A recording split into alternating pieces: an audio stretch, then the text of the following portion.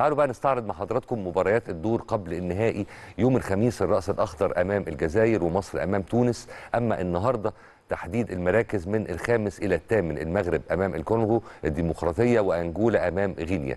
تحديد المراكز من التاسع إلى ال 12 هتكون ما بين الجابون أمام الكاميرون وليبيا أمام نيجيريا. أما تحديد المراكز من ال 13 إلى ال 16 هتكون رواندا أمام كينيا وزامبيا أمام الكونغو برازافيل. أكيد بنتمنى كل التوفيق والنجاح لمنتخبنا بإذن الرحمن.